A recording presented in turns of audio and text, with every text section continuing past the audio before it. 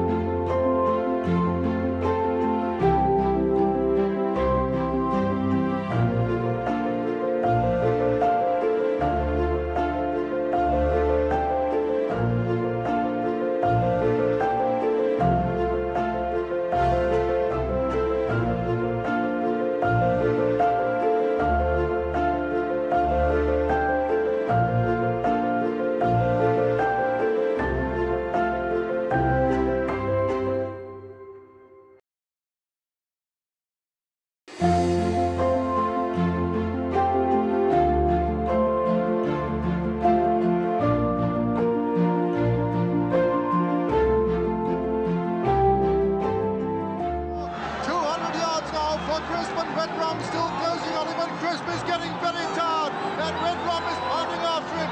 Red Rum is the one that's finishing the strongest. He's going to get up.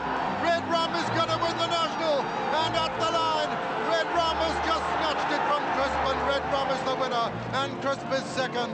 L'Escargot's just coming up now to be third. He's got a big weight, remember, 23 pounds more than